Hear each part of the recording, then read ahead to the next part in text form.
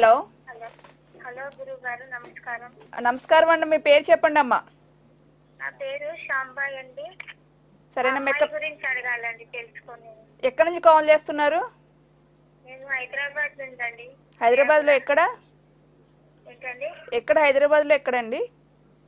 మా అమ్మాయి గురించి సరే చెప్పండి మీ అమ్మాయి పేరు చెప్పండి అమ్మా.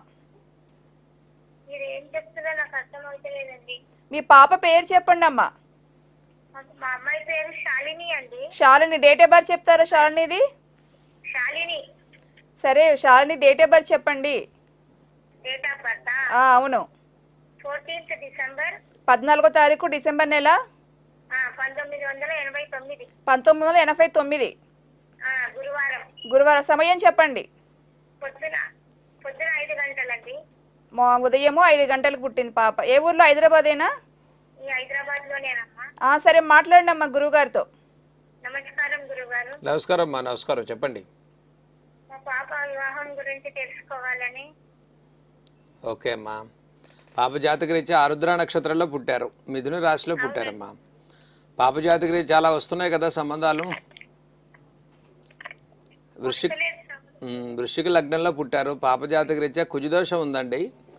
లగ్నంలో రవి కుజుల యొక్క ప్రభావం ఉంది. ఈ జాతకరీత్యా మీరు కొన్ని పరిహారాలు చేసుకోవాల్సి ఉంటుందమ్మా. చేసుకుంటే వివాహ విషయంలో మీకు రెండు వేల ఇరవై నాలుగు ఇరవై మూడు నవంబర్ తర్వాత ఇరవై నాలుగు ఫిబ్రవరి మార్చికి వివాహ అవకాశాలు బలంగా ఉన్నాయి. అయితే పదకొండు మంగళవారాలు సుబ్రహ్మణ్య స్వామికి అభిషేకం చేయించండి. ఒక్కసారి సుబ్రహ్మణ్య కళ్యాణం చేయించండి అమ్మాయి చేత. సుబ్రహ్మణ్యేశ్వర స్వామికి అభిషేకము కళ్యాణం అమ్మాయి చేయాలండి. ప్రతి మంగళవారం ఒక పూట భోజనం కింద పట్టుకోవడం చేయాలి. అవునండి అవునండి. పదకొండు మంగళవారాలు అభిషేకం చేయాలి. అవును ఒక పూట భోజనం నేల పడక. తర్వాత పదకొండు వారాలు అయిపోగానే ఒకసారి సుబ్రహ్మణ్య స్వామి వారి కళ్యాణం చేయించండి.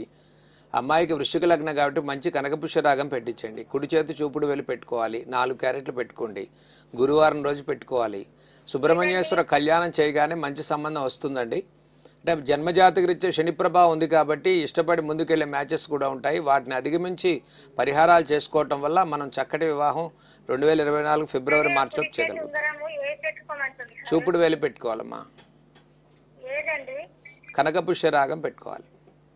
కనక పుష్కరాగం. ఉంగరం ఉంటుందా కనక